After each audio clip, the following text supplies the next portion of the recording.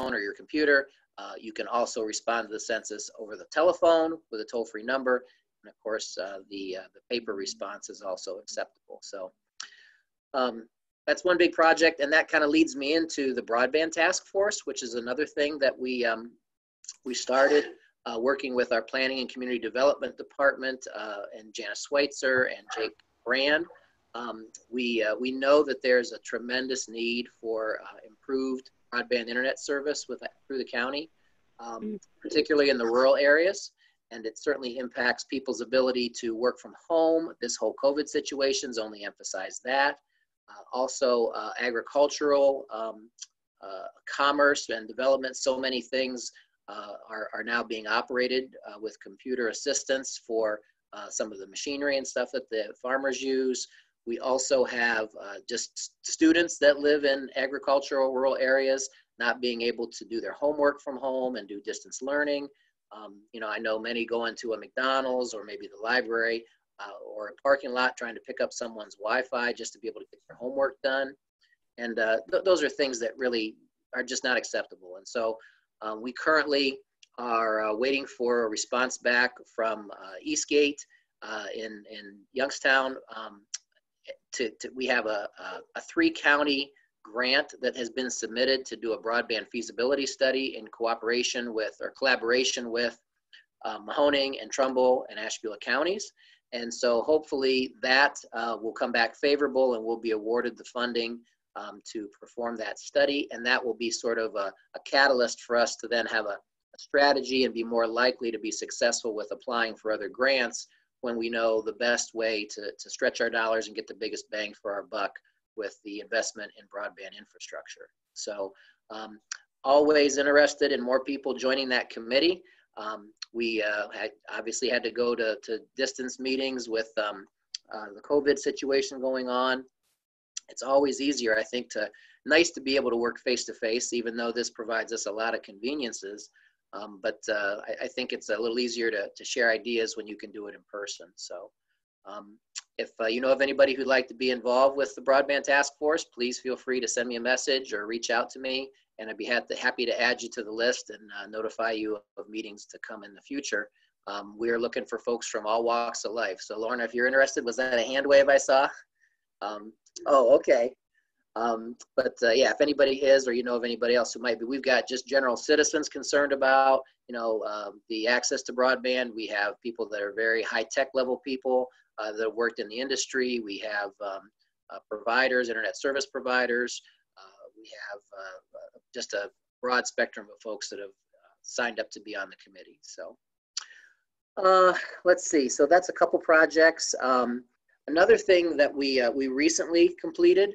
Um, and uh, this just, uh, let's see, opened up for the county at the very first of the year um, is we actually have a new emergency operations center. And uh, this is something that, you know, again, I think kind of comes into play with this, uh, you know, whole COVID situation. But um, our, our old EOC used to be housed in the basement of the, um, of the, of the new courthouse where the jail is. And um, it had, uh, you know, no windows, um, limited ability to uh, do upgraded technology.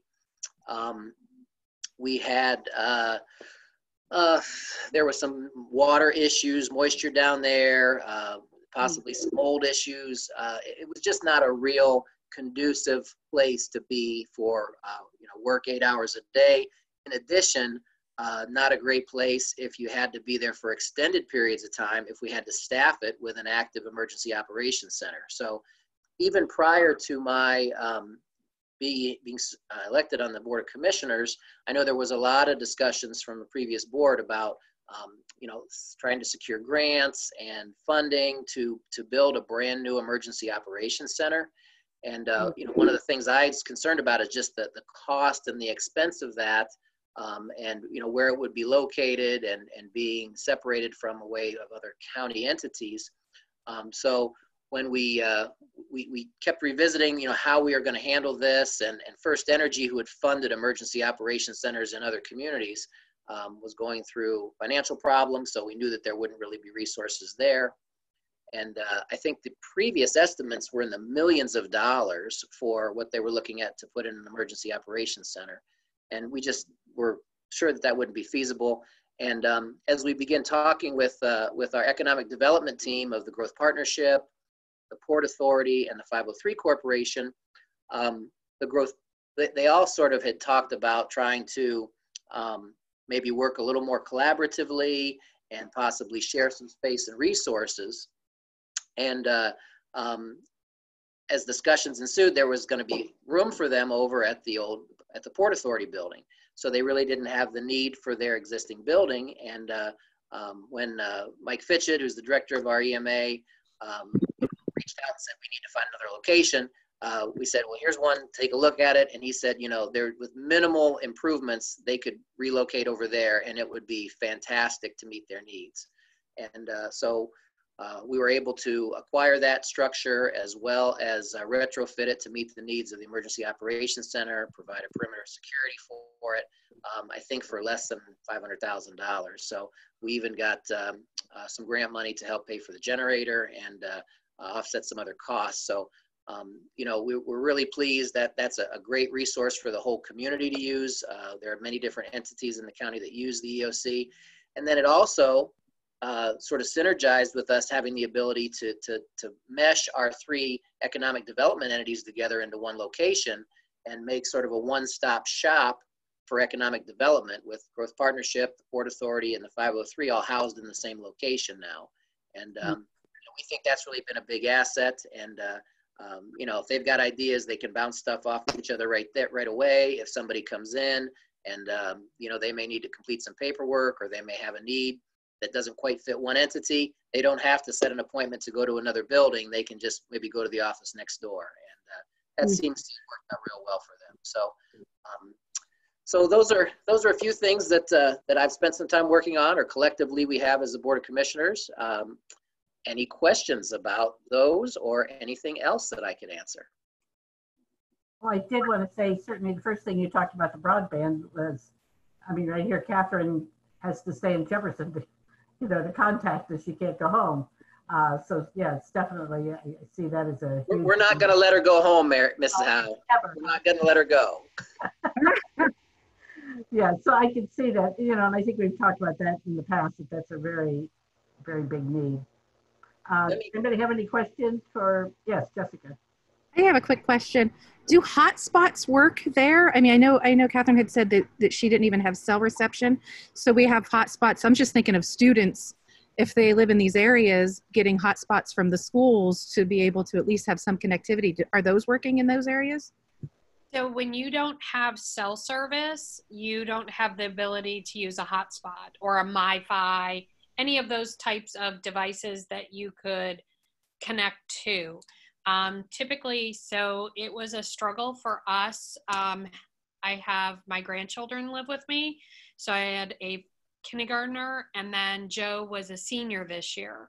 So we were going to friends' houses, to McDonald's parking lot, to the library parking lot, um, just to get assignments at least downloaded so that we were able to then print them off and they would be able to do their homework. Um, fortunately, Joe being you know 17 was able to go to friends' houses and do a lot of his work at their home using their internet. Um, so it wasn't as much of a struggle, but it was truly a struggle for you know having a kindergartner that you had to log in and do everything online. Um, she was not the best student in the vehicle, um, and rightfully so. It was it was a challenge. So um, we got through it. She is going on to first grade, so we're excited about that. and, and let me let me just touch on uh, you know a couple of the different solutions, Jess, because there isn't I don't think a one size fits all uh, answer to the problem in the county. Um, you know, when we think about broadband, I think everybody's first idea is, is fiber lines. And the cost to run hardwire fiber is just cost prohibitive to do in an area with the low population density that we have in the county. So, you know, I think strategically, I, I think we'd like to put, you know, some trunk lines down some of the major thoroughfares and maybe create, you know, a grid or at least a figure eight uh, in the county that there are major trunk lines um, that, that possibly can be expanded on. But then, um, you know, there's a lot of communities that are using these uh, microwave signals. Um, and so, you know, it's kind of like putting a satellite receiver dish and then do point to point line of sight uh, signals that maybe don't have the same uh, degree of, um, uh, you know, high speed that you can get, but at least it's going to get some people, get people some access. Um, so, you know, we've got some folks that just, that I know the frustration in some parts of the county where people are paying for, you know, 20, 50, 100 megs, and they're, they're saying those times they'll get on there and they'll get two, or they'll just be kicked off all day long. And um, I, one Do of the big know? frustrations I have is I don't know how the service providers get away with charging for that and then not providing the service. Do we have any idea how many um, homes with school-aged children are impacted by that? Is there, was there anything done towards the end of the school year to get an idea of how many specifically students there's issue with? I have not heard that figure, but that's really a great question, and that probably is something that the, the school superintendents, I can bring up to the boards there and see if they've got a kind of a count on that and who struggled with their distance learning for the end of the year. Um, but no, I, I do not have that figure. Is the state doing anything? Are they looking into expanding broadband for the whole state? They are, there are various um, uh, bills in place or that are working their way through. Um, some that I think have already been approved at the state level and a few that are still being under consideration. Um, but the, uh, uh, there's, they all have different parameters. So it's kind of trying to figure, say, just your cat just walked in and my dog just walked in. um, so the, uh, uh, there, I think everybody recognizes this from the federal level on down to the state level that there is certainly a big need for this. So I think you're seeing a lot more money, um, you know, be allocated. USDA has programs. Um, there's uh, the uh, uh, I'm drawing a blank now. There's all different programs out there, but there's there's numerous um, agencies that are doing broadband funding, and so it's just a matter of you know what parameters you have to meet to qualify or how much matching dollars you have to provide and then finding the uh, you know the right project to match those things up with it seems like um, with this COVID nineteen, and we don't know where it's going to go, that there we really have to address the needs of children in that area. If the school, we don't know what they're going to do. If they decide to do online learning, you know that I wondered if there that might be a, a way of getting funding too, because we need to get it.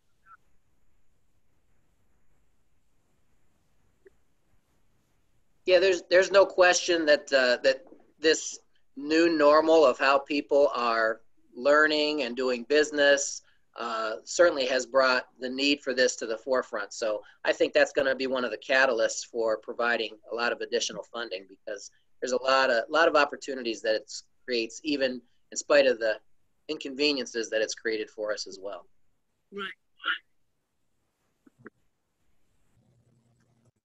Um, in regards to the census, is there a cutoff date when it has to be completed that you have to have all that data in? And are you going to have people physically looking things up, tracking people down, or how does that work? Uh, great question. Uh, thank you. Nice to see you, Mrs. Rapus. Um, the, uh, uh, the, the- they've delayed the door-to-door work, which was supposed to start in May, uh, until I think 1st of August. They're supposed to start now actually going door-to-door. Um, and they said that they will take it all the way up to the end of October, but they're hopeful that they will not take that long, that they'll be done before that. Our response rate as a county, I haven't looked at the update here in, a, in probably a week, but um, the self-response rate uh, was about 60% um, in the county. And uh, I think statewide is 65, so we're lagging a little bit behind the state.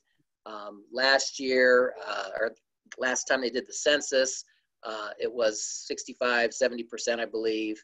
Um, so, you know, we've, we've got, we've got some work to do, and especially since you now have these other options of responding as opposed to just sending in your mail, your, your uh, paper co- copy in the mail.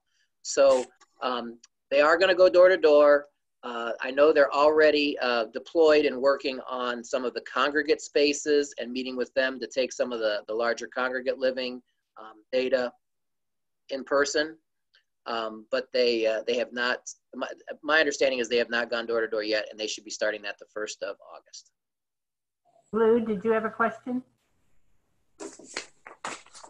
Um, yeah, well, um, I had a question going back to the broadband thing.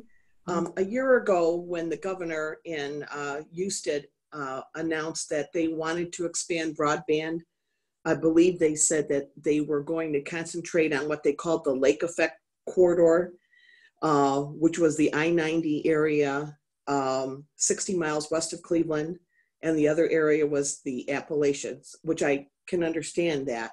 Um, I immediately fired him off a two page letter uh, asking him why um, there was not that same consideration going to the east as we have the same problem. Uh, and there were also like other programs like already in place through the USDA that they were um, funneling money towards to help these communities. Has Ashtabula County ever had direct contact with the governor about this issue and the lake effect quarter thing that he talked about a year ago? And has have they looked into anything uh, that the USDA uh, provides in terms of connection?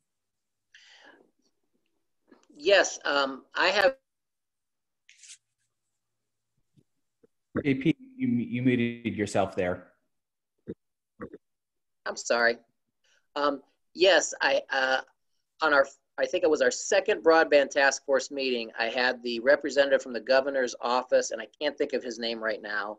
Um, and then also uh, Dave Hall, who is the uh, um, the uh, representative for the USDA for the state of Ohio uh, from the president's administration, both be a part of that call and talk about sort of some of the programs that were out there and what's happening. Now, I have not heard about the the, the lake I'm sorry, that term that you just used for the, the lake corridor or whatever, I, I haven't heard that specifically stated. Um, but I, I, know they did a lot of work there on uh, I-90 for um, smart mobility and they, and they put some um, broadband in, but it, it's, you know, it's a lot of that's for, you know, traffic counts and things like that for, for, you know, the monitoring on the, on the highway. I don't know that there's a whole lot of benefit to anything that was done there on 90 um, for the general citizen or any businesses. Um, USDA programs, uh, you know, again, we've, we've looked at these, but some of them, you know, they'll give you $3 million. You just have to have $3 million to match. Well, we don't have $3 million to match. So, um, and, and some of these programs, uh, again, you're, they're competitive. So we're, we're trying to do the, the study first. We looked at trying to fund specific, a few specific projects, but you know, we, we, we have so little real data and, and, you know, I guess um, instead of trying to do a shotgun approach, we wanted to really have a strategy going in to make it much more likely that we would be able to receive funding and we applied for future grants. So um, that's where it was sort of recommended that we start with the feasibility study and then move into applications once we know, uh, you know, what, what our needs are, where we can best uh, allocate our resources to get the biggest bang for the buck. I would love to have a copy of that letter, though, if you happen to still have that and could share it with me. Um, that would be awesome. I'd love to see what you sent down to the governor's office, and uh, sure. And that might, you know, that might give me something to follow up on specifically. And then um, there, there's, I think the, I think that the, the, the key is really going to be how can we what are we going to strategize here and how can we leverage the resources that we have? I mean obviously in the in the cities even though you know there's probably very little problem with getting connectivity in Conneaut or ashtabula or uh, geneva um, i don't know that there's the capacity to attract any real high volume uh, internet traffic users for business if you wanted to you know get into trying to attract some tech type companies um, so you know do we need to focus more on strategizing to to focus on business or do we need to strategize more on just getting any form of reliable internet service to the Kathryn Whittingtons of the world um, that uh, don't have anything that they can even function with. And, and, and I don't think, you know, I guess my philosophy is I don't want to pick and choose a winner and a loser. I, want to try to make sure that we can provide something that's improved for everybody. And so um, I, I don't know the best way to do that. And we're hoping that we'll get some of those answers from the feasibility study. And then we can start identifying some of the projects that have to happen, costs associated with them, and then we can go out and try to target some of these different grant programs, whether it's through the state or whether it's through the USDA or other federal type stuff. Okay, th- thanks. Thank you. All right. Okay, who Um, wants to go? Go ahead, Casey. yep. Uh, actually, Commissioner Whittington was going to go next. I was waiting to see if there were any more questions for JP. Um, I want to start off where we July is a great month for um, our Ashtabula County Crime Enforcement Agency. They have turned a year old. That is our drug task force. Um, if you recall last year when I spoke, we were just announcing its creation and them starting. So I thought I would kind of update you um, on the year that they have had being now dedicated strictly to Ashtabula County and taking the drugs off the streets. Um, we started out with five full-time officers. We now have six full-time officers and two part-time officers. Now, those officers not only come from the sheriff's department, but from Geneva, Ashtabula City, and Conneaut City. So we are a multi-jurisdictional task force. So we are not just one police department. We are covering the entire county. Um, since then, we have been writing grants diligently, and we have garnered over $200,000 in grant dollars to help fund the task force. Um, we still have money outstanding. Um, grants are kind of on hold right now due to COVID. So we still have a couple of those outstanding, and we have some coming up that will be writing for renewals. So I do work directly with the sheriff's department on writing those grants. Um, so they do come out of this office as well with collaboration with the sheriff's department for that funding. Um, they have a Facebook page. So if any of you are on Facebook, it is called CEAC, C E A A C, which stands for the Crime Enforcement Agency of Ashtabula County. Um, they post after they do any type of large drug busts.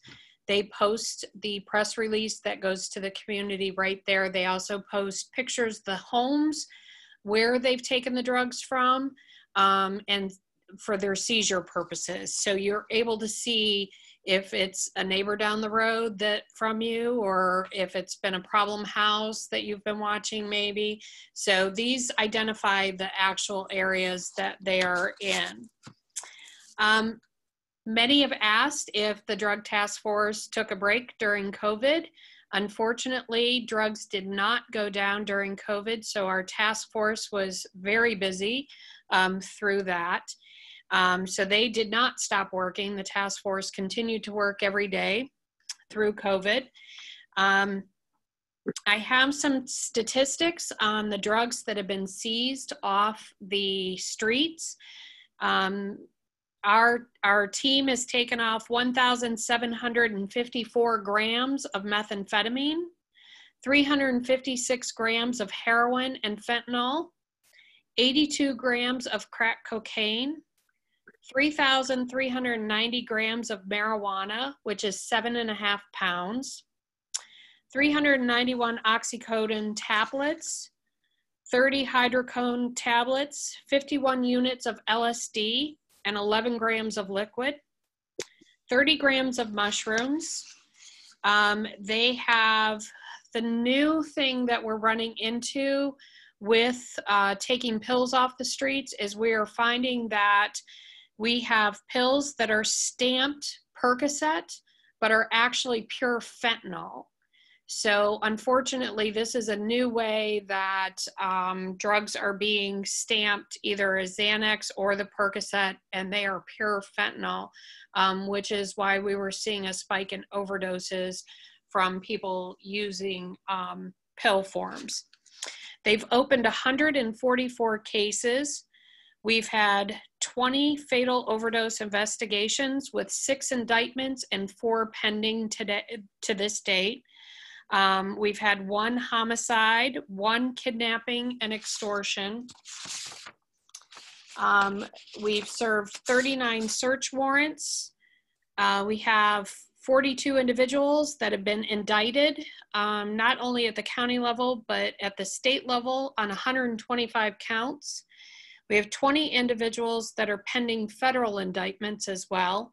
We've seized over $46,000 in cash and 79 firearms.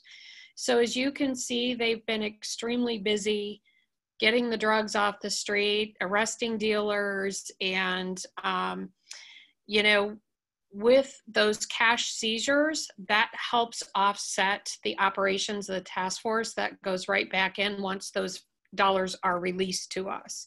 Um, so that helps in the cost to the taxpayers. So we are excited that they are a year old and still going strong, expanding. We ex- we expect to expand to more officers later, hopefully this year.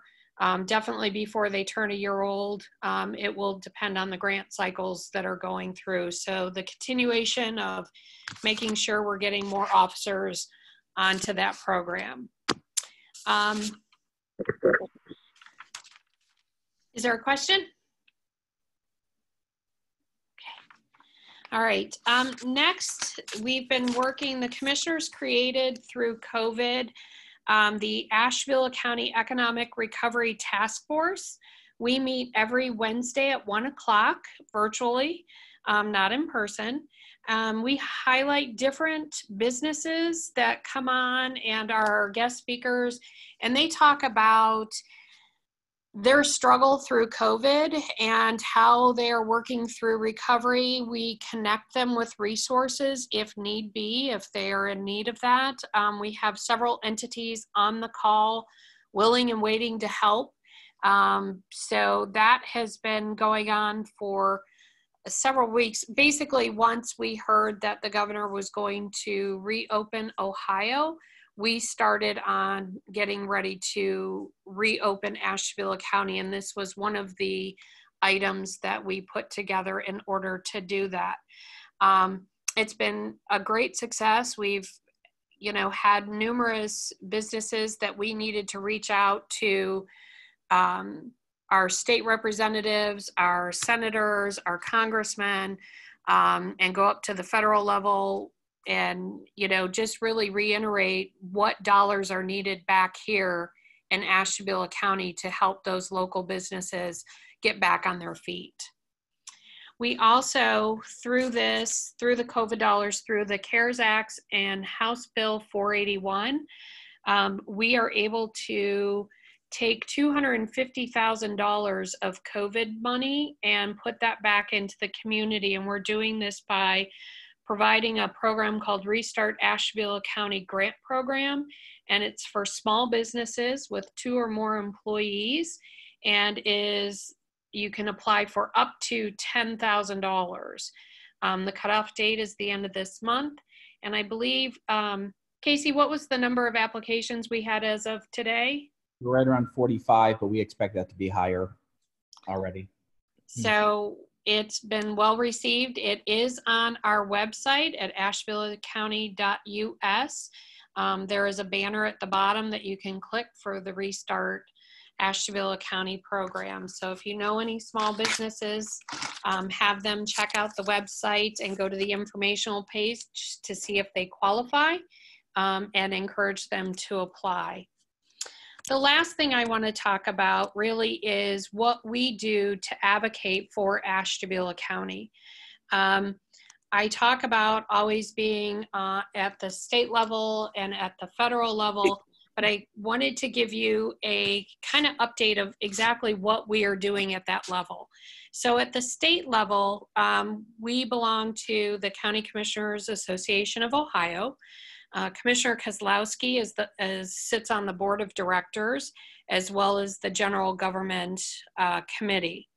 Commissioner Ducro sits on the Jobs, Economic Development, and Infrastructure Committee, as well as the Taxation and Finance Committee. I myself sit on the General Government, Health and Human Services, and the Justice and Public Safety. By us being active at our association, we have the ability to advocate for exactly what Ashtabula County needs are that, you know, are working to get those dollars from the state. We also belong to the National Association of Counties, which allows us to advocate federally for the dollars coming down federally to the state, ultimately to Ashtabula County. So I serve on um, two of NACO's committees. I serve as the vice chair for the subcommittee of the Human Services and Education Steering Committee. And I also serve on their Justice and Public Safety Committee. Um, we're pretty active. We meet monthly on one of our committees and every other month on the other. So with that, CCAO has been very active through COVID in making sure that the governor's task force has exactly what the counties are in need of and advocating for that there.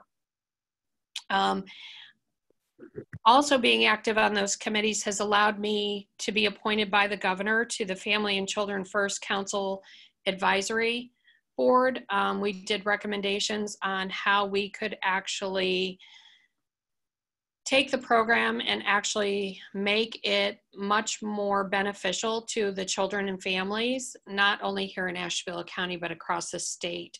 Um, make it more uniformed throughout the state. We found that counties were doing this program differently for our children, and that was. It, it just was not beneficial. The dollars weren't being used um, as as well as they could have. So um, that was great. We put our recommendations um, in paper and to the governor last November. Finishing that up in January, I was appointed to the Governor's Children's Services Transformation Advisory Council. Um, that kind of got stopped in the midst of things for COVID. Um, we are in back doing sessions now again for that advisory council. We are working on transforming the entire foster care system uh, through the state. So um, it has been beneficial to, you know, I served at Children's Services for 15 years, and now I'm raising my grandchildren due to the opiate epidemic. So I kind of have a different, unique perspective as a commissioner. Um, so I bring something different to their table than they're used to. So we've been having great dialogue as to what is working, what's not working, and what would be more beneficial to our families. So we are all three very active um, and continue our advocacy for our residents here in Ashtabula County. Um, that's all I have if anybody has any questions. Um, I don't have a question, but JP under the Zoom group chat, uh, Jessica put up a direct thing to the lake effect corridor. You can check that out. Anybody have any Thank you. Jess. I saw that. Thank you. Good. Anybody have any questions for Commissioner Whittington? No? Okay. Could you, could you repeat the, the acronym for the drug task force and I, Yes, it's CEAC, C E A A C. I'll just add my two cents worth that I'm really pleased to see that they're starting to indict the dealers. Um, Yes, I think that's been long overdue. it's long overdue, and the charges, you know, if there's a fatality, there there's you know charges that go along with with that. Right. So depending on you know how they're tracing them back, this team is phenomenal. We are getting um, great feedback from them. They are doing great work working together with their informants and other law enforcement to trace those drugs back to dealers and getting them off the streets.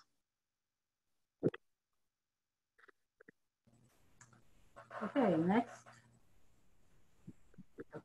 Want Sure. So, uh, thank you so much uh, for having me here today. Uh, this actually marks the sixth time, I believe, that I've uh, spoken to the League of Women Voters. Um, so, a little different this year, but uh, appreciate the opportunity to provide an update uh, with all of you. and much like JP and Kathryn, I'm very appreciative of the gift certificate. I look forward to visiting J Town soon um, and, and having lunch. So, thank you so much for that. Do appreciate that. So I wanted to provide a little bit of an update on a few topics here in Ashtabula County. Uh, first and foremost, I thought I'd tackle uh, COVID-19 and the epidemic that is before us and speak a little bit about uh, much of the work that the county commissioners have been involved in as it relates to um, the coronavirus. Um, so back in March, uh, the commissioners got uh, you know got wrapped up in this and got very involved in um, you know uh, dealing with the situation. And uh, early on, we actually um, conducted a partial activation of our emergency operations center. And uh, Commissioner Ducro spoke a little bit about the center, but the fact that we were at a new site uh, was very beneficial to us because the emergency operations center um, was much more update, and we actually had the space to be able to um, respond to situations more, more uh, I guess, efficiently, you could say. Um, and one other thing that we've come to realize uh, is that we had considerable not only technology issues in the in the old space, but also space issues. Um, so as part of uh, the, the pandemic, uh, it, one of the concerns has always been access to PPE, that's personal protective equipment. And the EOC has served as a, um, a, a you know, kind of a facility to house a lot of that PP, uh, PPE, uh, enabling us to uh, then get that out accordingly to the various agencies throughout Ashtabula County. Um, so that space served to be very fruitful. But early on in the pandemic, we activated the county's emergency operations center. And what that meant, uh, a partial activation, meant that uh, we were able to pull up resources countywide and also from a state and federal perspective. Um, and uh, that opened up lines of communication so that we could uh, get uh, updated and accurate information as quickly as possible. And we're sharing information amongst our local entities, the various stakeholders that are involved. So um, subsequently, the commissioners formed a county call um, that uh, uh, consisted of members of our health departments countywide, um, our hospitals, um, our mental health and drug treatment providers, um, our school superintendents, um, and community leaders, and so many others uh, that we felt were important to be part of this uh, conversation every single week. Um, for us to be sharing information, getting updated case information, um, also sharing best practices, uh, um, and uh, of course, uh, providing opportunity for help uh, with each other. Um, so anytime there was an agency or entity in need, um, we were able to uh, respond uh, quickly to get the help to where we needed it to go. So here in Ashtabula County, I think it's important that I do share that uh, the case information as we stand today. Um, here in Ashtabula County, uh, we're at 452 cases, um, and we have have had 81 people hospitalized, and we stand uh, currently at 44 deaths. Uh, and, but uh, there is some good news in all of this. Um, and we've had approximately 370 people um, that have been uh, presumed recovered. So those are individuals that no longer um, are deemed to have the virus at this time.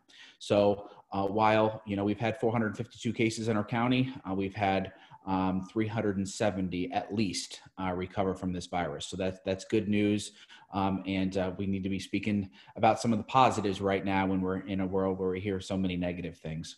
So. Uh, but also during this pandemic, uh, we've been uh, fielding calls, uh, many calls from residents, organizations throughout our county, and also many businesses. And we've been responding accordingly, working with the county health departments to ensure that uh, if they are looking to have an event, that it's a compliant event. Um, uh, if they're looking to, you know, perhaps get some help for their respective small business, um, you know, we try to get them connected to the to the accurate resource, and that's why the the, the Economic Recovery Task Force has been so very helpful uh, because we've been able to get that information out there um, to our many community stakeholders uh, and filter that out to our businesses and community members. Um, so we've we've quickly learned in a pandemic, communication is uh, one of the most important things. Uh, we need to be able to adequately get information out there uh, to a large number of people. Um, and, uh, you know, it's, it certainly uh, has enabled us to, to improve our communication countywide, um, having gone through this. so, but, but fortunately in our, in our county, um, we've held up strong. Um, here in Ashtabula County, we're at a level one currently, which is the lowest level um, that you could be at, fingers crossed. Um, we have uh, local counties, uh, Trumbull, Lake, Geauga County, that are actually at a higher level um, and are seeing more community spread uh, in, in, a larger number of cases uh, per capita. Um, so they, uh, of course, are at a higher level. Let's hope that we, we keep it at the level we're at currently. Um, also, during the height of the pandemic, uh, we partnered with Community Action uh, to form a 211 call center. Uh, that is still up and operational at this time.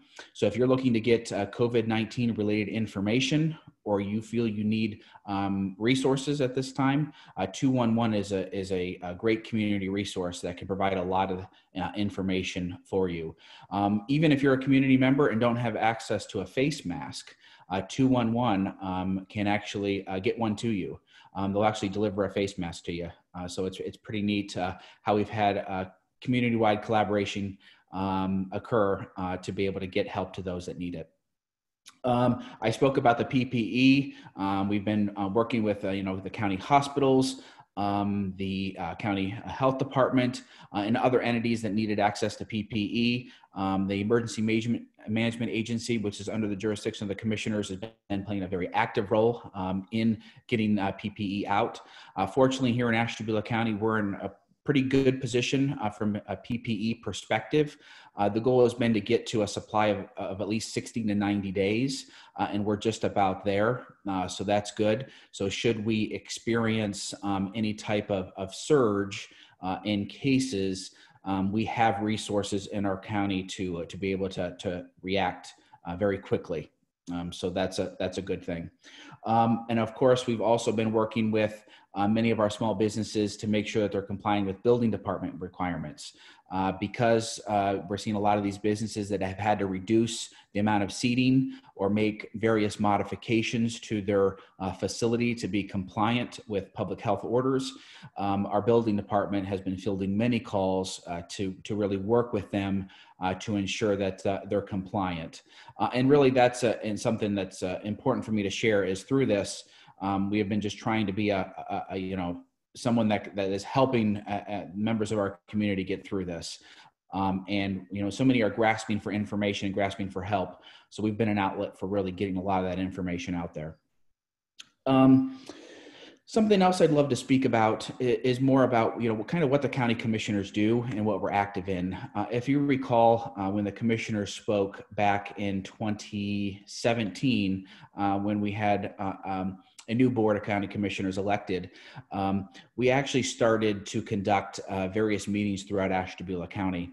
So uh, we felt uh, transparency and being open to the people of Ashtabula County was very important. Uh, so we started hope, uh, holding meetings uh, throughout Ashtabula County, and we visited just about every township, village, and city, which was pretty neat. Um, and every month we'd, we'd visit a new community um, and learn from them about what's going on in their respective community uh, and how can we as a board of county commissioners be helpful to them. Uh, and it's important to also note that these meetings were held in the evening because generally um, our, a lot of our meetings occur during the day. So we felt it was very important early on uh, for us to hold evening meetings throughout ashtabula county allowing the public to participate. And I know some of you, I think, even attended some of our meetings, and we appreciate that. Uh, and uh, we welcome you to, of course, any of our meetings in the future. Um, while much of that is on hold right now, um, because while we had visited all of the communities in the county, our goal next was to uh, start holding some community conversations um, during the day throughout the county again. And we also wanted to visit schools um, to provide an opportunity to uh, kind of give them an update on what we do as county commissioners um, and also allow them to ask questions. But sadly, that's all been on hold at this time. Uh, so we're we're kind of using outlets such as GoToMeeting and Zoom uh, to get our information out there about all that's happening in Ashtabula County. Um, uh, and finally, another topic that I want to talk about is uh, this year we're, we're tackling the county's comprehensive plan. Uh, so the comprehensive plan uh, actually serves as a guiding document to plan for the future of Ashtabula County. Uh, the county's comprehensive plan was last updated in 2003. Uh, and we're tackling it in, in the year 2020. Um, long overdue, uh, but why is the comprehensive plan important?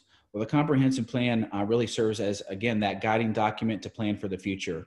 So we've, we recognize that we have um, many areas for improvement uh, here in our county, uh, and we want to be able to um, talk to community stakeholders throughout all of Ashtabula County and get a better understanding of what they would like to see our county um, to be in the next 5, 10, 20 years.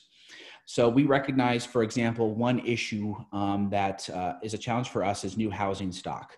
Um, we're, we're looking to, to get new housing in Ashtabula County, but the question is, where do we put that new housing stock? So uh, the comprehensive plan uh, will be part of that conversation to be talking to, to, um, various communities, but also community leaders and residents, um, and hear from them about where they would like to see perhaps some new housing um, uh, developments put put up. I know there's been talk of some new housing in the North Kingsville area. Uh, there's been there's talk of um, redevelopment in many aspects of Ashtabula City and specifically the bridge, you know, along the the, um, the Bridge Street area. Um, so we want to be having these com- uh, conversations community-wide about uh, where can we, um, you know, bring in some new housing stock um, and, uh, you know, of course, uh, continue to improve the, uh, the uh, our, our, our, our, community lifestyle here in the county. and then we also talk from an economic development perspective. what perhaps what areas are right for development? Um, where would we like to see um, perhaps some more commercial development? Where we would like to see perhaps more agricultural development and so on. Uh, so we'll also be having that conversation as part of the uh, community planning um, project uh, so that uh, we can, uh, of course, address these issues and have this guiding doc this this document serve as the guide for for us moving forward.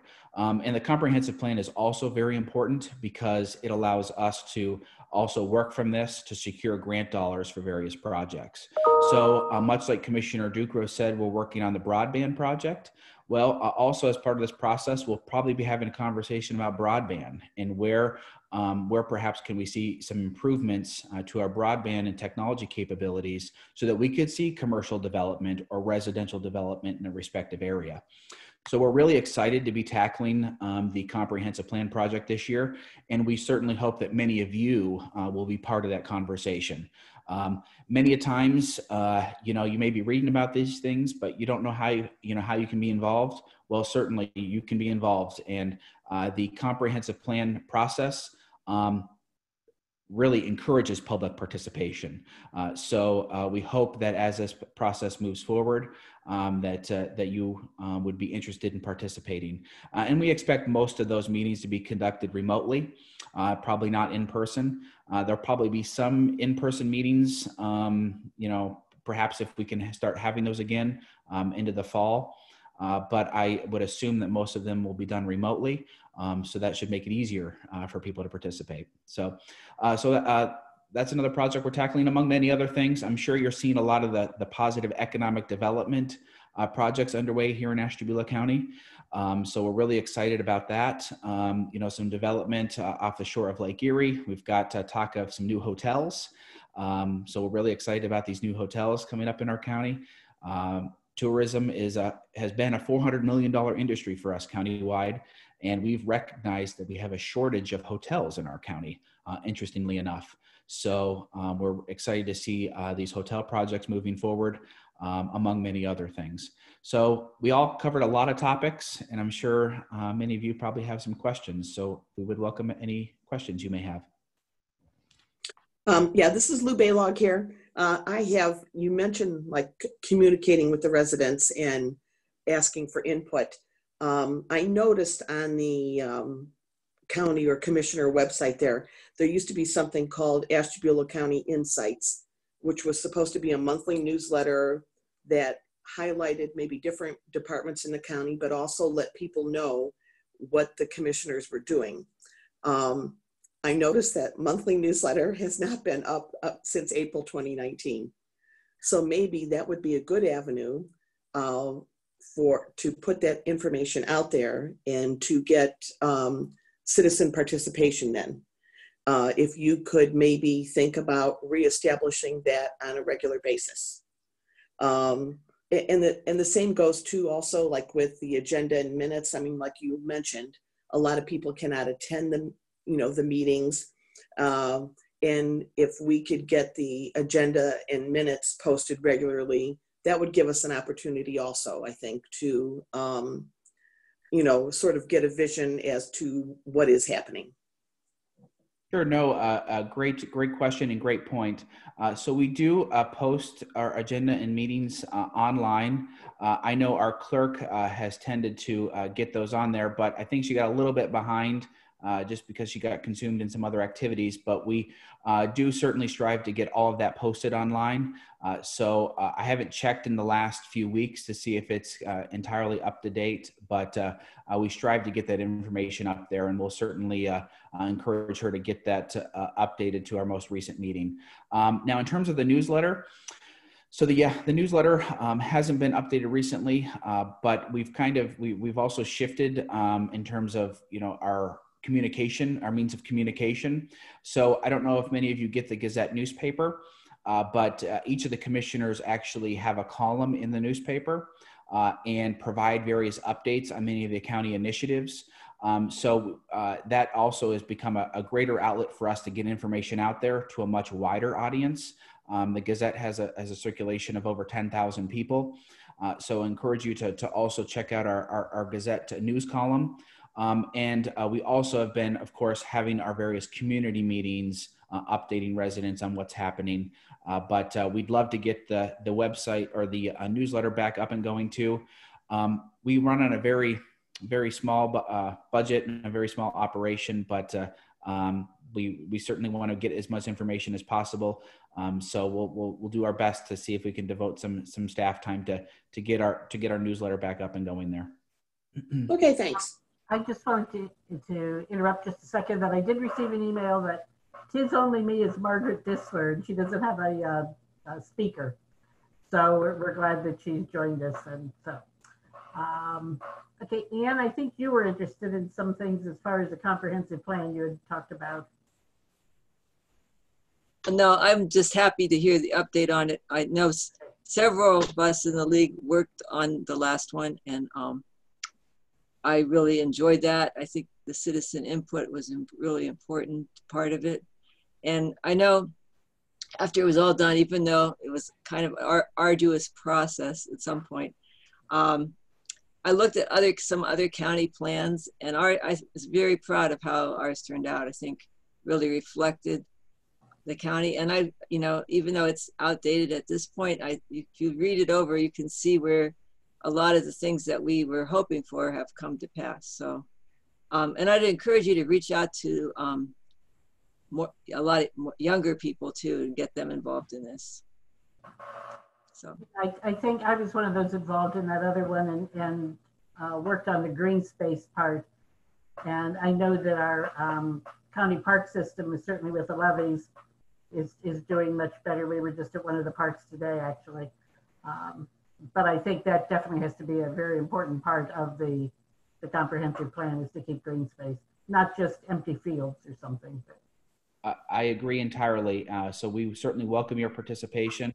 And the key to uh, success with the comprehensive plan is not only get the participation, but also uh, do something with the plan uh, and not let it sit on the shelf. Uh, so that's going to be key uh, as we work to get this develop this plan developed um, let's uh, let's get good participation, but let's also act uh, to to implement our plan. And how are you how are you getting the word out to encourage people to contact you if they want to be on the committee? So uh, we're not quite to that stage yet because we okay. are uh, finalizing um, uh, the I guess you could say review of all of those that uh, submitted to us to do some of the comprehensive planning work for our county. So uh, the, the committee has yet to make a recommendation on the firm that we're going to be working with. Uh, but as soon as that's selected, uh, we want to kind of, you know, of course, get some dates out there and provide an outlet for uh, for you to sign up to participate. So uh, stay tuned. That information will be coming shortly. And how much are we spending for this firm? So uh, we don't have a defi- we don't have an exact cost. We set aside um, one hundred thousand dollars for the comprehensive plan, uh, but our goal is to do a lot of this in house. Um, so we want to of course be able to reduce the cost as much as possible. Many other communities have spent much more than that. Um, so we're um, obviously trying to do a lot of it internally uh, in our community services and planning department uh, to reduce the cost as much as possible. Can I make a quick suggestion? Uh, not that I think we could do anything like that on our campus at Ashtabula, but Kent State does have a graduate program in planning, and I know Baldwin Wallace has some programs also, both graduate programs and undergraduate, that might be useful um, to tap into. Oh, would would love to have them involved. Uh, so if you have any contact information of the sort, we'd love to make a connection. I would like to have two updates. Um, I was wondering how the county's recycling program is going and an update on um, the future of the jail. Sure. So uh, does anybody want to respond to the recycling or you want me to? Casey, I'll let, I'll let you do, I'll let you do recycling and then, cause you on the solid waste board, I'll take a stab at the jail if you want me to when you're done. Okay. okay. So uh, the recycling program has been very successful in Ashtabula County. Uh, we we think it's going very well. Um, the system is healthy uh, financially, uh, and also, knock on wood, for the most part, people are using the recycling program responsibly. Um, we've had a few problem sites. Uh, where we're noticing people drop off garbage um, in our recycling bins, um, or they're dropping it right beside the garbage bins. So, of course, we discourage that. Um, this is not a trash program, this is a recycling program. Um, but uh, we put the cameras at many of our sites uh, to reduce uh, the abuse of, of the um, recycling centers. Um, and uh, the city, Ashtabula City, was also another uh, area where we're having some trouble, uh, but they're making some modifications, including moving the bins inside a fenced area um, to help contain um, uh, some of the pollution that's occurring around the sites. But we're, we're noticing high quality um, in terms of the people that are dropping off the recyclables, um, good plastic, good paper being deposited. Uh, and we're actually even looking to grow the number of sites. Uh, Kingsville Township is the most recent entity that uh, reached out to the commissioner's office and would like to have their community have a recycling site. Um, so we're excited to be working to, with them uh, to secure that site.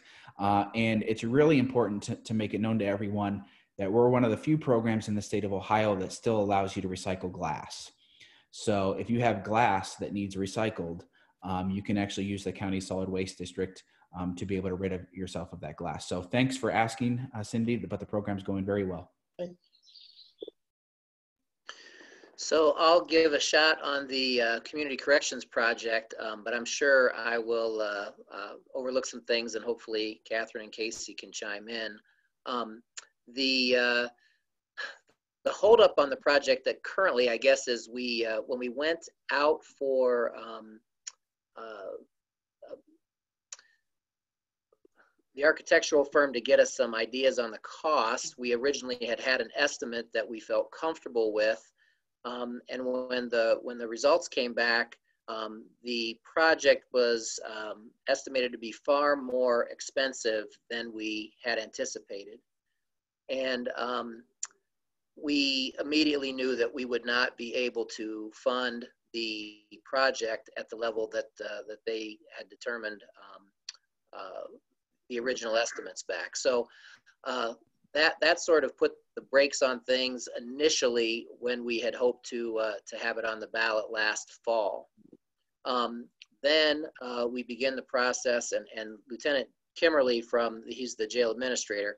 He really deserves the bulk of the credit uh, for all of the work to start to um, look at reconfiguration, um, look at ways to save um, costs on operational, um, you know, long-term expenses, uh, as well as just construction expenses. um, while still allowing it to be uh, something that could be could be constructed and not just meet our immediate needs, but hopefully meet the needs of the future uh, with potential, um, uh, you know, utilizing it for, uh, you know, other facilities that could maybe rent the facility to. Um, I'm sorry, my wife just popped in the door here. So, um, and uh, uh, and then um, look at the. Uh, I'm sorry, I lost my train of thought the um, flexibility of it as times are going to change how we do corrections we have a lot of uh, different different types of programs we, we we're hoping to do more with um, you know rehabilitation and getting people back into be productive citizen society not changing from the philosophy of you know, lock them up, throw away the key, and when it's time for them to be re released, all of a sudden they're going to be good community citizens again.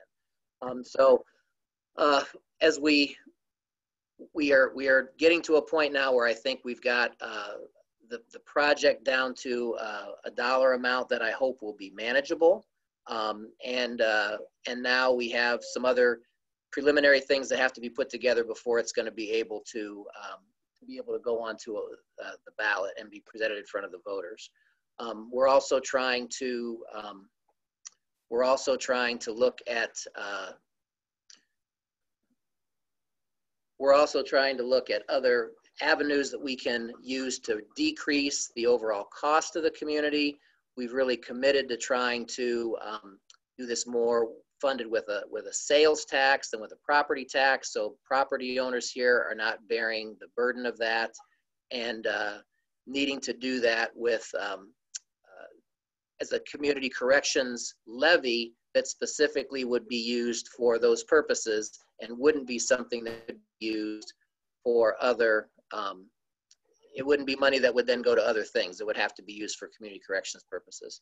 And if we can do it as a sales tax, we recognize that because our tourism industry is growing so much, we would then have the ability to have out of town visitors come in uh, through the use of sales tax and try to uh, help offset a lot of that expense as opposed to um, it all being on the backs of local citizens.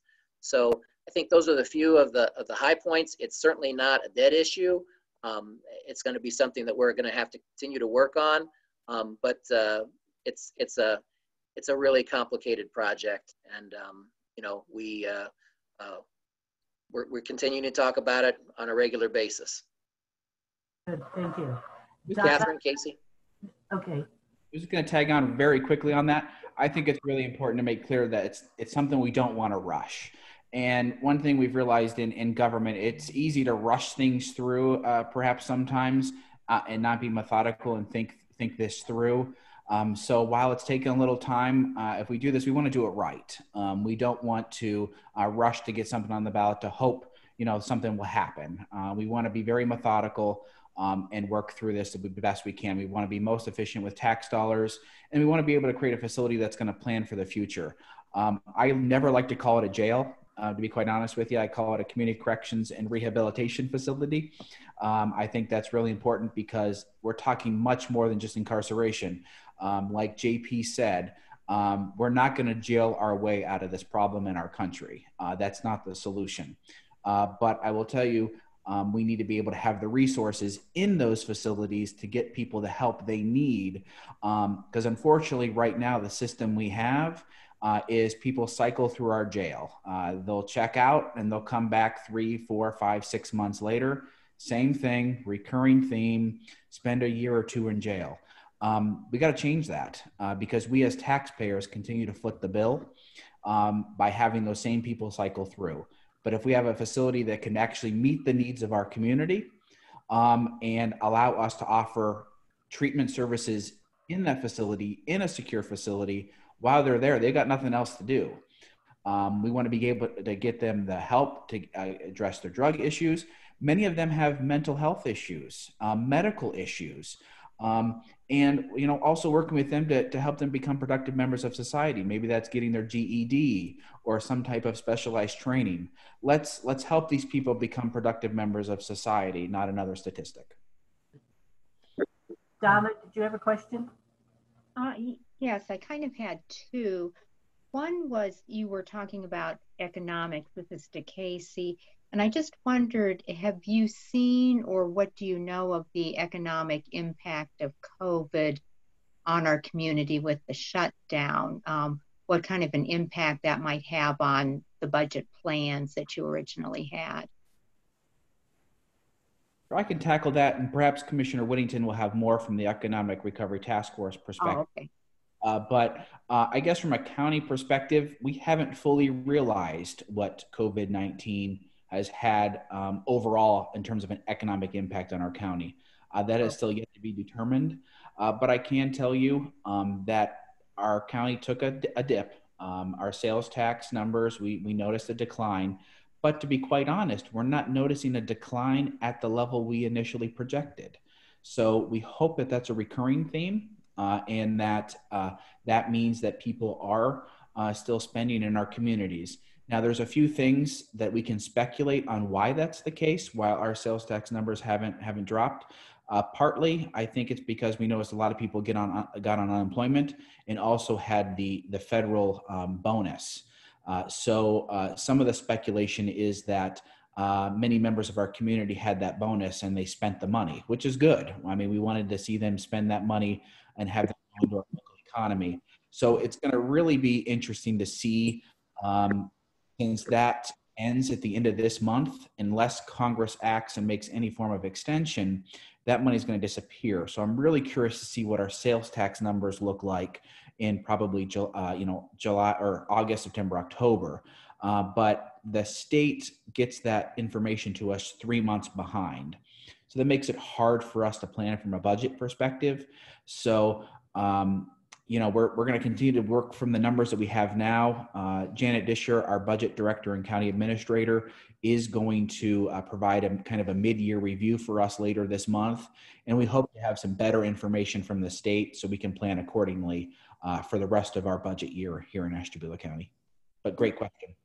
Okay, and I wondered how the lodge is doing, which, um, and since I live in Geneva and we drive by, it's been kind of empty and maybe hopefully it's starting to fill up because I know um, they've been trying to look at, I think, repaying the loan. So this year might not be a good year for that. But I wondered if you had any thoughts on how they were doing with the loan repayment and how the tourism do is there any information about how tourism is going or is that still kind of lagging the information i mean I, I just, Miss Howe, I just want to excuse myself. I'm going to call on my cell phone, so I'll be mobile, but I got to be on the move. So I'm going to sign off from here and I'll dial back in when I get to the vehicle because I want to stay a part of the conversation as much as I can. So thank you so much for having us. And uh, please feel free to reach out to me if you have any questions in the future. And I look forward to hearing you guys answer that question, Casey.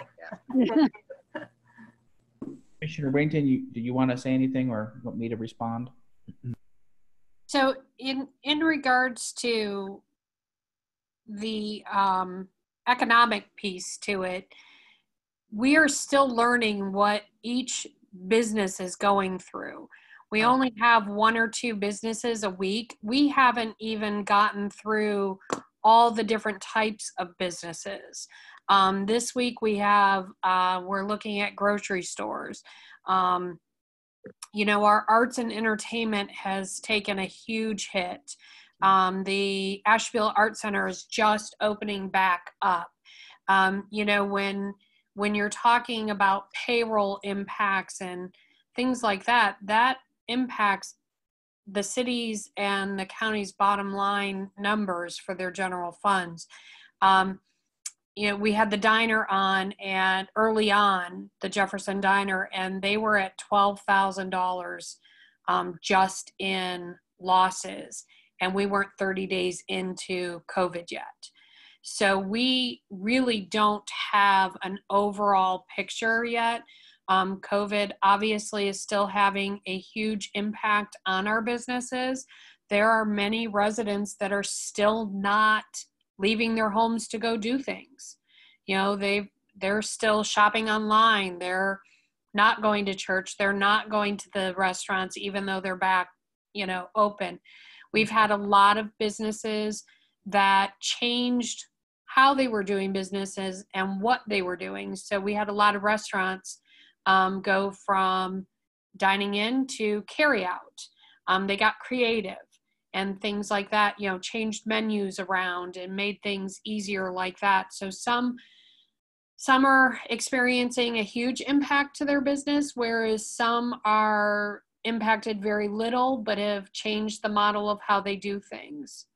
Um, so really, I don't think we're really going to see a true economic impact until the end of this year. And really, I don't, if COVID, if, if this pandemic continues and we're still at limited restaurant capacities and things like that, I don't think we're truly going to see what the impact is until it's all over. Okay.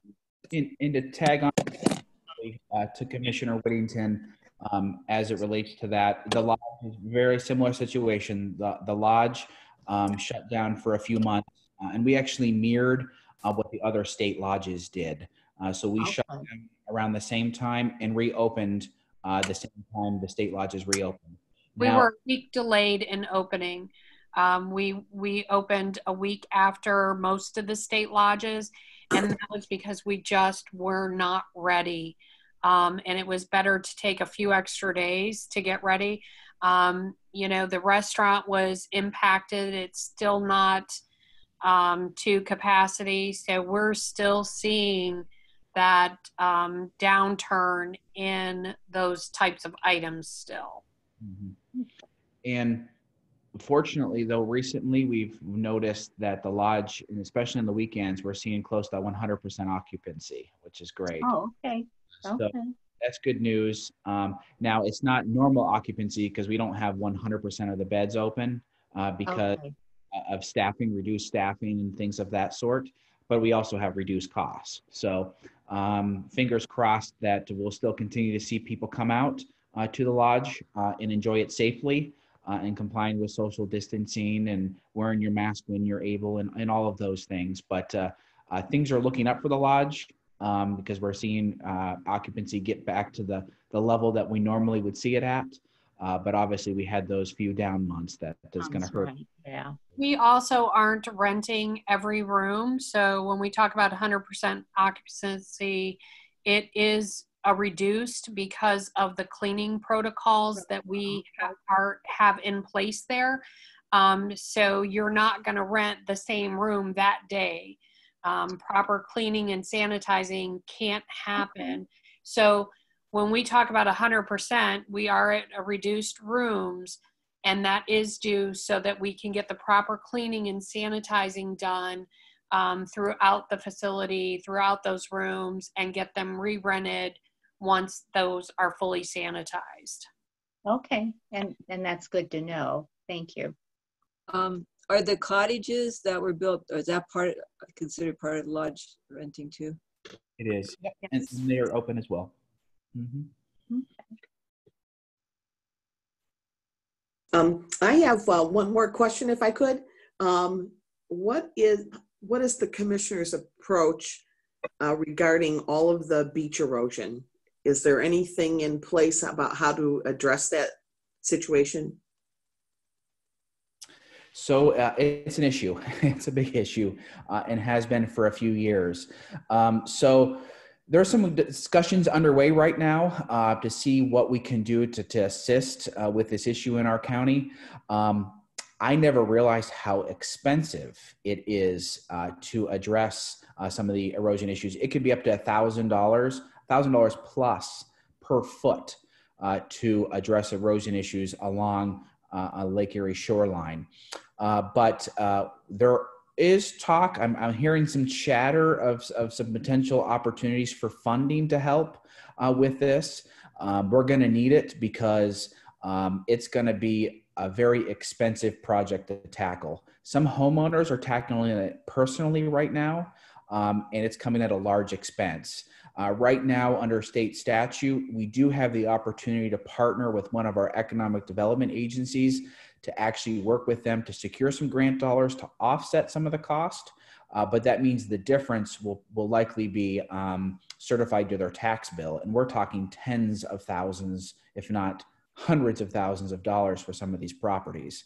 Um, some of the homeowners don't want to spend that. Um, so it, it's, it's that delicate balance of, of finding some funds um, that could serve as a considerable match to help many of our um, landowners along the lakeshore uh, to address the issue.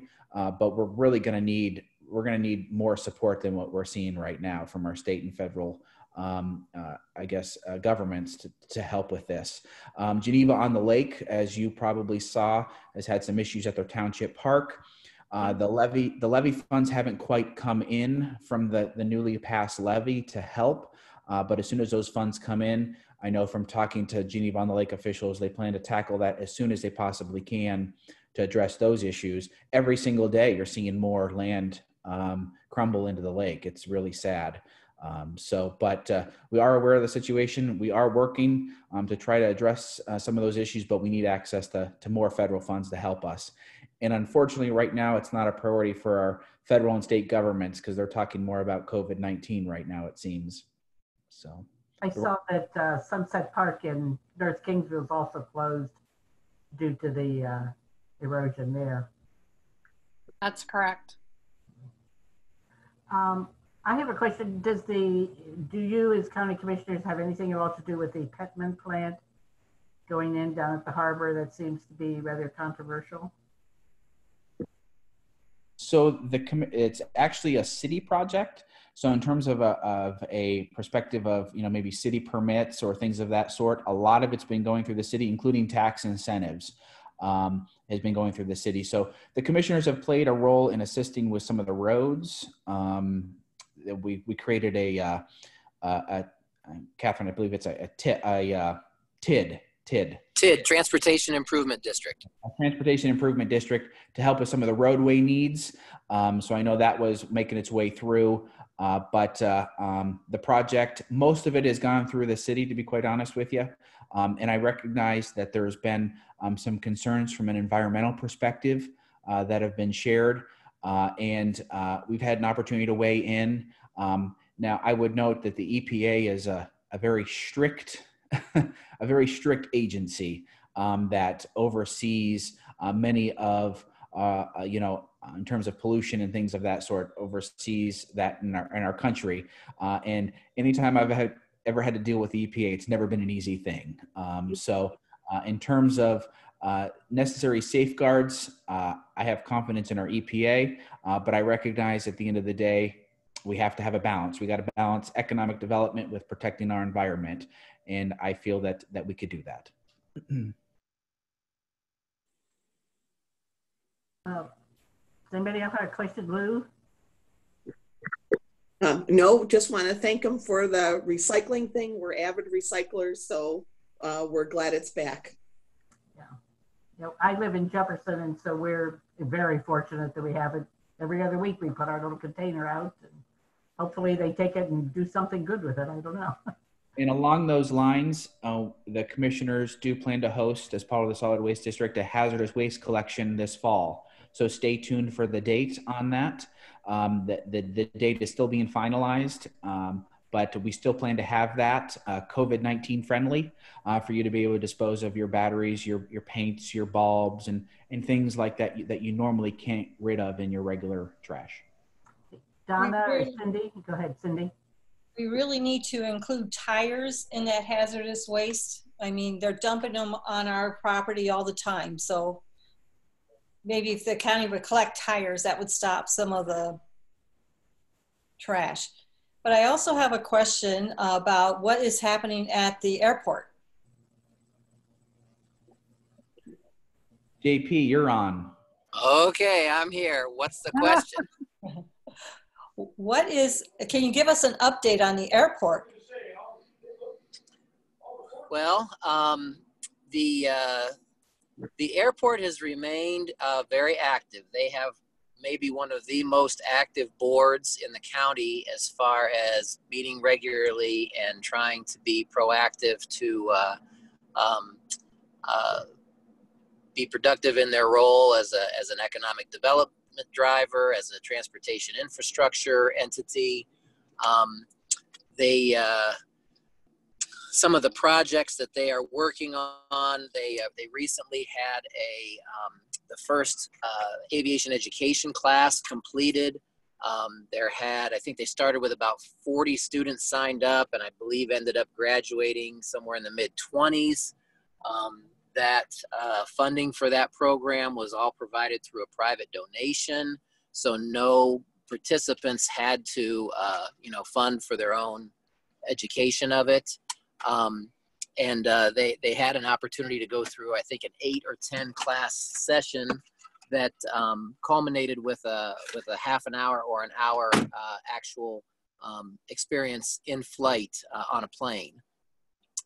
And um, they're also uh, actively working on uh, trying to secure a contract with a medevac provider so that we can have um, life flight accessibility from here in Ashtabula County um, to uh, you know the varying entities that provide uh, uh, not stage one trauma centers, but uh, you know the the the metro hospitals and the places of the world where you go if you're in a tragic car accident and you have to can't get the the care that you may need um, here in Ashtabula County.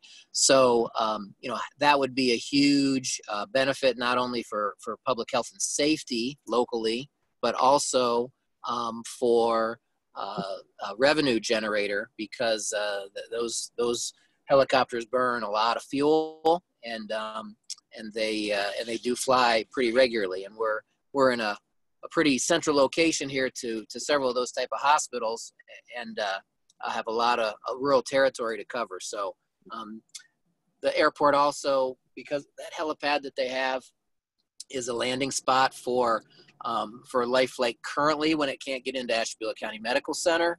Uh, also um, for the uh, search and rescue for the Coast Guard if uh, they need to refuel while they're doing search and rescue out on Lake Erie.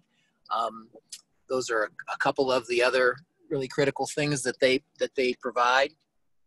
They just recently uh, secured a grant, and I believe are in the uh, uh, I'm not sure if it's in the bid phase or if they've actually gotten to the construction phase yet of putting um, broadband internet uh, dedicated line right to the airport. So that's one of the things that they were lacking for a long time was reliable internet per, uh, per, uh, service. Um, we unfortunately had to uh, reduce their budget appropriation when we went through our COVID uh, uh, budget reallocation because of the reduction in revenue. Um, so we uh, we had to cut their budget about hundred thousand dollars from what they were originally um, appropriated. Um, but uh, you know they, they have been very fortunate to have uh, some private donations that have helped, foundations that have assisted. The Morrison Foundation recently provided them with uh, a grant, and um, you know they've got a beautiful new runway. It's uh, the only um, fleet compliant report in uh, one two compliant seats in the state of Ohio. Uh, uh, there's jets coming in there um, pretty regularly. Uh, a lot of folks coming in from there. This Truck World project. Um, save a lot. Uh, you know, she flies in and out of there regularly. Uh, uh, Delta Railroad. Um, so you know, it, it it's probably not known to the general public how much that place is really used, but we really wish we could see more activity out of it. And hopefully, uh, we can find uh, opportunities for more general aviation folks to use it, not just the big uh, corporate entities. I hope that helped answer your question, and I'll take any others if there's, there's something specific about the airport.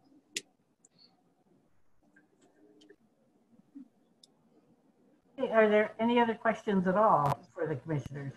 I'd like to just touch on the tire question. So we had a tire collection scheduled for this past spring, but due to COVID, that had to be canceled. Um, COVID just kind of really threw us all for a loop. Um, our we are planning another tire collection, but I don't believe that is going to be until spring of 2021. So there will be one. It's just we they're expensive to recycle. It's an expensive program.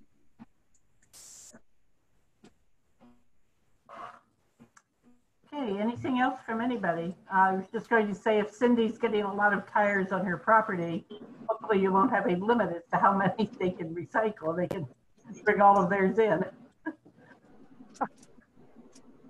Divide them up amongst your friends. That's a good idea. I think it's a max of four, isn't it? Usually at the at the And, recycle events for Yeah. tires. uh, uh, we had four four for free and then a dollar from the fifth to the tenth. Yep. So again, bring your friends. Yeah. Load them up with your tires and Great. four at a time. Okay, are there any questions from anybody else?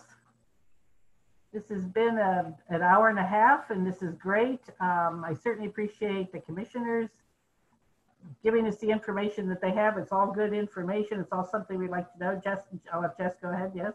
just we did record the session at least like halfway maybe like five minutes into when jp started the session just wanted to ask if that's okay to share um, i wanted to get the commissioners permissions before we post it anywhere send it. There was a few members that had asked us um, can we can you try to record it? I've never recorded anything but if this works can we also uh, share it on our facebook page and share it to the members that weren't here tonight?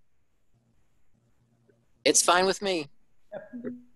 All public, all public information. So, all right i just want i want to make sure before i go and do something that i'm not supposed to so thanks if there are any tough tough questions? Maybe not. But Yeah, it was it was a pretty easy it was a pretty easy night. Thank you. And, I and, and have to- Jessica, thanks for the courtesy of asking too. I appreciate that. Of course, there's no problem with sharing it, but we appreciate you asking. Absolutely, sure. And I just want to go on the record for saying I missed the pie tonight. I know. I look forward to that every year. Oh, man. Last week was, or last month was supposed to be our annual meeting where we were going to, I don't know, what were we going to do? Tour Hubbard House, I think, and have a meal and all of our. Moore, yep, it was catered by Moore's. We had everything set up. Yeah, yeah, so, yes, this is, this is disappointing, but we, we live with it. So Well, it was great to see everyone. we Yeah. certainly want to thank all the commissioners. I want to thank Jessica for being able to do this. Without her, who knows what on earth this would have come out as. Um, I have organized a, two or three Zoom things, but this has been a big help to have Jessica do this. Uh, I want, to welcome Sally from out of town, who's still a member and still interested in, in what's going on here. And thank you for that, for coming. Thank you to all of you. Um, we do have coming up in August, and now, of course, the date escapes me. Donna, maybe you remember, or Lorna, you're involved. of the health study that we're doing, this is a, uh, for the commissioners, if you're interested, this is a statewide study through the league about our health equity uh, throughout the league, and, and we'll be having that coming up. We have a lot of, a lot of us have to do a lot of studying before the time. Um, do you remember the date on that? Is it the 14th? Your, your, your, um, I think the fifth. Yes, fifth. August. It's the 14th? No, it's August 5th. August five. August 5th, and we are going to be doing that one in the evening so that um, we do have a few new members that most of the former members are all retired. We're all getting old. We're, we are old. Um, but we have some new members coming in that, that are still employed because they're younger. So we, uh, we scheduled that one for an evening, I think from 7 to 8.30. That'll be another Zoom study that night. So members, study your health thing, the health equity information that's been sent out. There's a lot that get it studied and be ready for that. And again, we, we thank, we thank the commissioners for this. We look forward to this every year. A lot of good information. Yeah. So thank you all. And at that, I think we can all leave and let the meeting be over. Thank you. Great. Thank you, Mary. Thank you.